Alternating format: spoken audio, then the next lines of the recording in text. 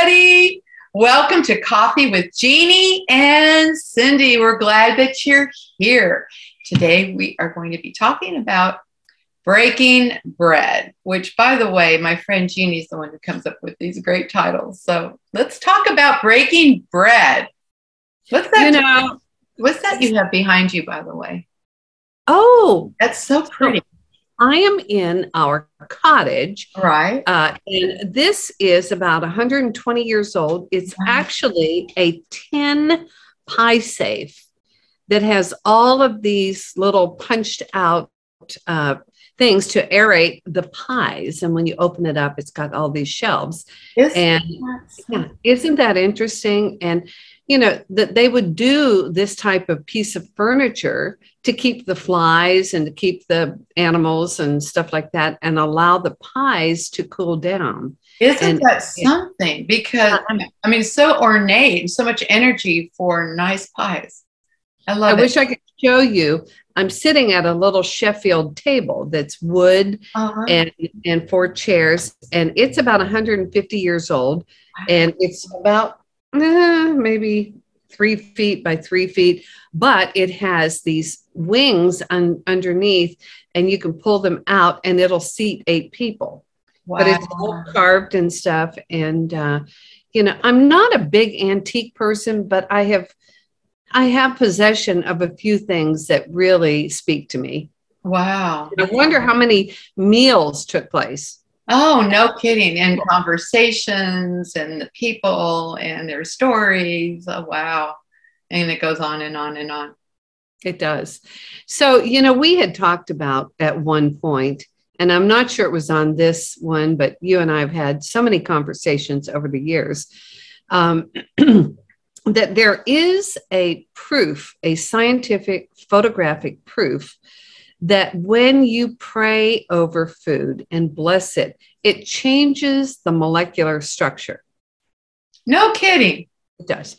And so what happened was in the like late 50s, early 60s, there was a Russian uh, husband and wife team that were photographers, and they were working, and their last name was Kirlian, and they did a number of types of adjustments and stuff that they could actually find and photograph the life force around bodies and around um, uh, living things like like plants and food and all sorts of things. And one of the things that they were able to show Cindy is that blessed bread, if you bless your bread and they took a picture of it, it sparkled with energy.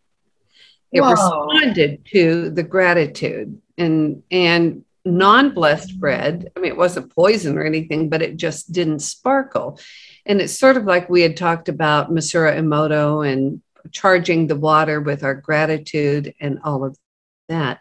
One of the things that the Kirlian photography did too is they would take a picture of a leaf and it would show like an aura of energy around it. But if they cut the leaf, cut part of it, the aura of the energy would still be there with a missing part, which leads me to think do you know some people who lose an arm or a leg exactly. or whatever, and they have phantom pain? Exactly. And I can still feel it and it itches or it hurts or whatever. Mm-hmm. Well, I think that the energy of that limb is still occupying time and space. Well, now we're getting into some deep stuff, but I know exactly where you're going. And I love what you're saying, Jeanie, because we're moving into a time of a new awareness. Yes. We are noticing and we are learning. We know this in our deepest self. If you get quiet, you know it in your deepest self that we are not just this 3D world, that we are not just our five senses. We're our women understand the sixth sense better than men, I think, just because. But we have to take care of the babies. So I remember having this big party after Julie, you know, I was a teenager and we were having a party and Julie was a baby in the other room. And I just went, Oh, I need to go check on her. And sure enough, she was crying, standing up in her crib crying. And okay, I'll, I'll never forget. That was my first real understanding that she needed me and nobody told me that. Mm-mm, That's no. something. Right. And So, speaking of that, we nurture our babies. You know, we give them breast milk or we give them formula or, or we feed them, you know, when, uh, because it's such a loving and important part of who we are. It's not just throwing a, a biscuit on a, on a thing and going, well, go for it. No, you know, we feed them. you and- still do that. I, let me tell everyone who's watching, Jeanie. Jeanie doesn't, when you go to her home, she doesn't just feed you and throw something together. She does these elegant presentations. She's very proud of, of nourishing you. She gives you healthy food, and it's always got this beautiful presentation. Just thought I'd tell you that, Jeanie. Not every woman's like that, but you certainly are. You certainly are. Wow. I Thank love you. that about you. Thank you. And I received that, Cindy. I really do. Uh, my mother grew up, she was severely burned, uh, third degree burns when she was five years old with a sparkler at, at- actually at this time of year. Oh my ago. And so she spent 20 years in and out of hospitals. She grew up in hospitals getting skin grafts. She Oh, never learned how to cook. And she was about this big and about that big. And, you know, she, she could eat like a termite, but she didn't want to cook. And so I had to learn how to cook to, you know, survive. and which was great. And then, of course, we had the bistro with the winery and all of that. But, you know, I have always been of the opinion, Cindy, that we eat with our eyes first. Mhm. We look at that. Now, and I, I talked with some people, in fact, you know, the girls that I trained at my winery, because we would put things in these lovely little containers and we would, you know, garnish them and, you know, it looked beautiful. And people would, we would serve it on these slate hand cut trays and they would go, you know, and take pictures of it and, you know, send it to people and stuff like that. But I told my girls, I said, there's a there's a science behind this because we could take all this food and throw it in like a little, you know, paper thing that you get with hot dogs. You know what I'm saying? it's just make it just okay. So it contains the food. It would not taste the same. It would not be the same experience. And, you know, truthfully, every time I cook something, I am infusing love in it. Now, I have a funny story to tell you. My parents had divorced, and my mother then took a job. I went to a private Christian boarding school in Dallas for high school and college, and which sounds fancy, but it was not fancy. I mean, I worked my ass off, but she took a job in the kitchen. Well, she, you know, didn't know how to cook. She didn't like it and all of that. Well, there were some uh, uh, teachers that had outside jobs to help supplement. Mhm. And so, what the kitchen did is they would make sandwiches. Right. Well, my father had been a master electrician, so she was always in charge of making his lunches. Well, they had gotten crossways and all that. And, you know, she just resented the hell out of it. And she was not a resentful person. So, anyhow, when she got tasked with making these sandwiches for these people, one day this little old church lady came in. She had a little black bun and her little, you know, sensible shoes. And she came in and she said, Sister Rocious, I just want to tell you something. I can taste the hate in those sandwiches. oh.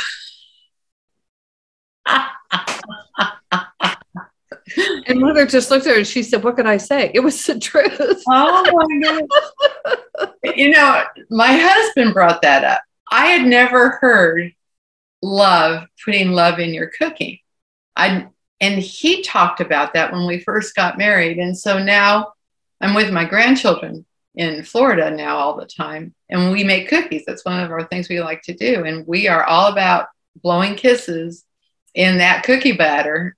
And they do make them taste better. They do. Yes. They absolutely. Because you know we are tied with everything with our intention you know we've, we've heard it said said that energy flows where attention goes right. so if you're intending and giving your attention to the love and the kisses and the great experiences uh, it has to infuse everything with that Yes. yeah yeah I love that. I love that putting love into something. I just yeah so you know my son-in-law uh, my daughter was telling me that he never really experienced just sitting at a table with family and eating a meal.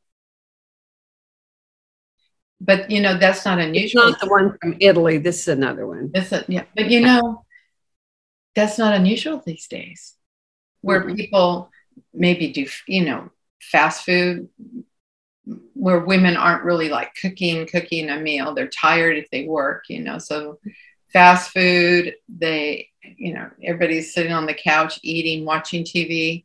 That's not unusual. In fact, in many cases, that's more the norm. But my husband and I, and Dennis is the one who does this more because I could sit on a couch and do that. No, when it's time to eat, and you're the same way, I know. And maybe this is more of a southern southern thing because he's he's from Kentucky. Kentucky, yeah. So we he sets the table. We have placemats. We sit there. We turn off any TV. We will put music on, and we have conversations. I was with what a concept. I was with my other daughter and her family, and er- we were at a Chinese restaurant, and everybody's doing this, you know, on in the Chinese restaurant. And I said, "Hey, I know. Let's play phone."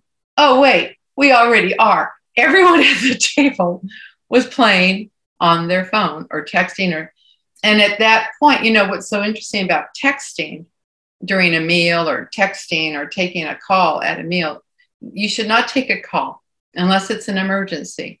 They have a thing on your phone now that says, I'll call you right back. You, know, you can write something like that. I'll call you right back. You don't have to take the phone call.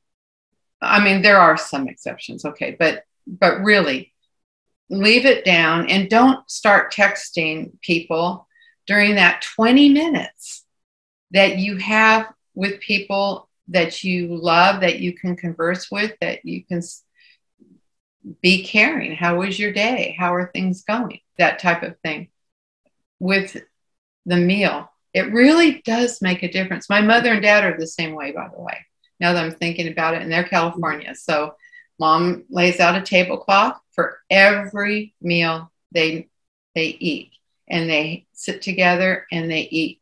And if I'm talking on the phone with them and all and mom's got things ready. Dad says, Well, your mother's got dinner on the table. It's time to hang up. People don't do that. No, I do that with my husband. Right. you know, he'll call or something and I'll say, Joe's going to be home in 10 minutes. Mm-hmm. Or he's getting off work. I'm going to hang up now because I'm going to fix his cocktail. We're going to sit out on the patio and we're going to talk. Right and it makes a huge difference. I did see something one time where this guy had had his friends and they were all out to eat, and he said, "Everyone, give me your phone. Give me your phone." So they were okay. So he makes, a, he makes a pile of phones, and he said, "The first person who picks up this phone during the meal has to pay for everybody." Oh, I was cool. like, "A great idea!" Wow. And so, like, nobody is going next to the phone. You know? No, because it's rude. It is. It it's is. rude. When you're sitting with people, you should give your attention to the people at the table. Everyone else can wait. And not only that, but I have learned from my parents, from you, and from my husband that I respect that. Mm-hmm. I think, wow, that's called respect. Just plain old respect. The even in fact, I was in California and I heard this on the radio. No kidding. Uh, somebody was saying that there have been studies made that families that sit at a dinner table every night have, as a rule, have much less trouble with their teenagers or their children getting in trouble. That right in the that's a statistic with right. that because there's communication there's love there's advice there's caring there's sometimes things are revealed that eh. i remember that happened at our dinner table a few times i also remember that if you were impolite uh, well dennis tells a great story about this where they were sitting down to eat a meal and Dennis popped off at his mother. He was a teenager at the time. And his dad took his plate and broke it and said, Son, you don't eat here anymore. Oh, that got his attention. There got to be consequences. Uh, well, remember, reminds me, you know, when we we had six children, I was the second oldest, and we had our parents, mm-hmm. but they always were inviting people over. I mean, it was not unusual for us to have 10, 12 people.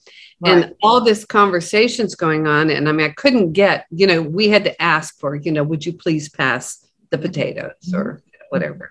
And so, I mean, I don't know how old I was. I wasn't very old, but I just got up and I just walked around to go get the potatoes, thinking I won't, you know. And my father just like ripped my head off verbally.